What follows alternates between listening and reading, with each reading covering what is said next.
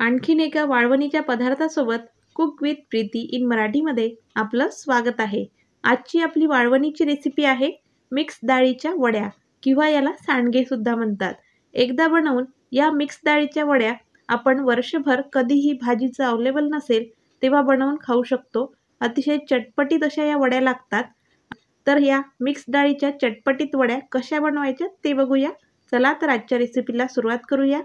Mix डाळीच्या वड्या बनवण्यासाठी एका भांड्यामध्ये आपल्याला एक वाटी चण्याची डाळ एक वाटी मुगाची डाळ अर्धा वाटी उडदाची डाळ अर्धा वाटी मसूरची डाळ घालून घ्यायची आहे आणि या सगळ्या डाळी व्यवस्थित मिक्स करून घ्यायच्या आहे. मिक्स डाळीच्या वड्या बनवताना उडदाची डाळ आणि मसूरची डाळ कमी प्रमाणात वापरायची कारण या दोनही डाळी बारीक करताना जड जातात.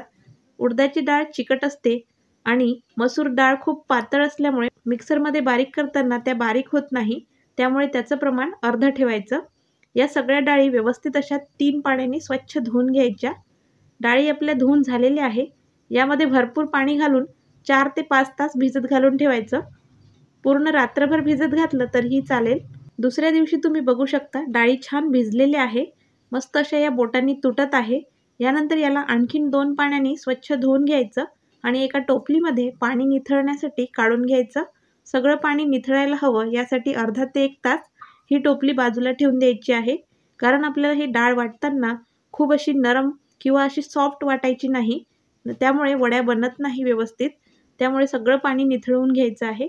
बघू शकता पाणी निथळलेलं आहे. एक तासानंतर मी इथे मिक्सरचं भांडं घेतलं आहे. यामध्ये अगदी थोडी डाळ घालायची. एका वेळेस खूप जास्त घालायची नाही. नाहीतर डाळ व्यवस्थित अशी बारीक होत नाही. यानंतर यामध्ये मी तीन ते चार चम्मच डाळी घालून घेतली आहे. यानंतर मिक्सरवर मिक्सर बंद चालू करत करत आपल्याला फिरवून घ्यायची आहे. चम्मचच्या साह्याने या पद्धतीने खालीवर करत आपल्याला डाळी छान अशा बारीक करून घ्यायची आहे.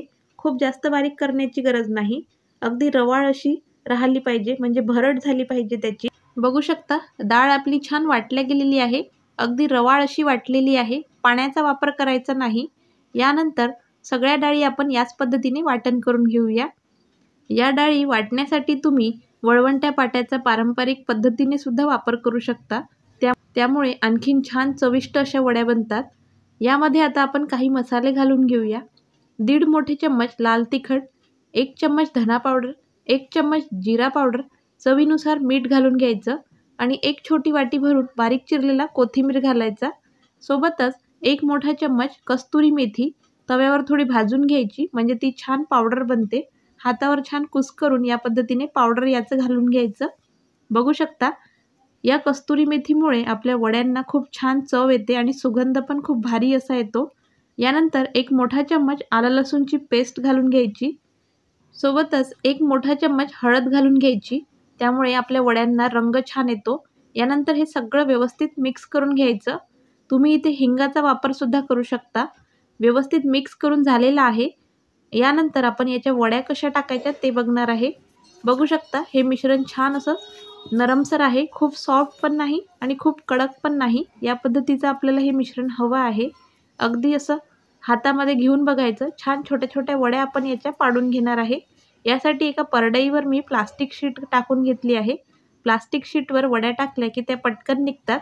काहीही मेहनत करण्याची गरज भासत नाही. हाताला थोडं पाणी लावायचं म्हणजे हे डाळीचं मिश्रण हाताला चिकटत नाही. यानंतर थोडंसं मिश्रण यातलं हातात घ्यायचं आणि त्याचा लांबसर असा गोळा करायचा आणि अंगठ्याच्या साह्याने आपल्याला छोट्या छोट्या वड्या तोडून घ्यायच्या आहे. वड्या कधीही बनवताना छोट्याच आकाराच्या बनवायच्या जेणेकरून भाजी बनवताना आपल्याला त्या फोडण्याची गरज भासत नाही आणि आपल्या वड्यांचा रंग म्हणजे भाजीचा रंग त्यामुळे बदलत नाही आणि वड्या पटकन शिजतात. या पद्धतीने चार बोटांच्या मध्ये पिठाचा गोळा पकडायचा आणि अंगठ्याच्या साह्याने वड्या तोडायच्या. अगदी बारीक बारीक वड्या आपण करून घेऊया. तुम्ही इथे बघू शकता मी कशा पद्धतीने करत आहे त्या. अर्ध्या तासामध्ये सगळ्या वड्या माझ्या टाकून झालेल्या आहे. बघू शकता किती सुंदर अशा दिसत आहे. यानंतर याला उन्हामध्ये आपल्याला दोन ते तीन दिवस वाळवून घ्यायचे आहे. चार ते पाच तासानंतर तुम्ही बघू शकता वड्या छान अशा वाळलेल्या आहे. अगदी छान अशा कलरफुल आणि अगदी छोट्या छोट्या आकाराच्या या बनलेल्या आहे. प्लास्टिक शीटवर घातल्यामुळे अगदी आपोआप अशा निघतात. तुम्ही ताटावर सुद्धा घालू शकता. अश आणखीन दोन दिवस या उन्हामध्ये वाळवून घ्यायच्या. त्यानंतर एका हवाबंद डब्यामध्ये स्टोअर करायच्या. दोन वर्षापर्यंत या वड्या छान आपल्याला टिकतात आणि कधीही पटकन भाजी बनवून खाता येते. अशा या तयार झालेल्या वड्यांची किंवा सांडग्यांची भाजी कशी बनवायची ती पाहायची असेल तर कमेंटमध्ये नक्की कळवा. मी नक्की शेअर करण्याचा प्रयत्न करेल. आणि रेसिपी कशी वाटली आजची ती कमेंटमध्ये नक्की कळवा. रेसिपी पाहिल्याबद्दल धन्यवाद. कुक विथ प्रीतीला वाळवणीच्या अनेक पदार्थांसाठी सबस्क्राईब करायला विसरू नका.